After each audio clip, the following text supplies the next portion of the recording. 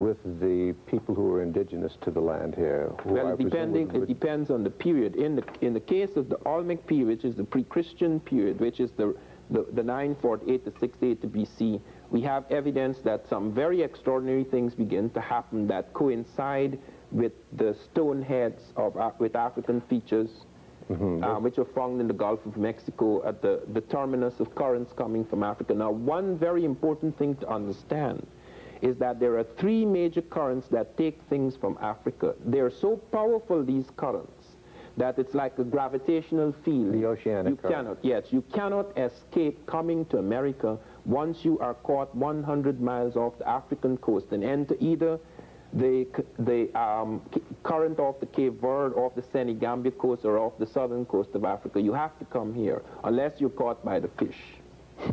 it,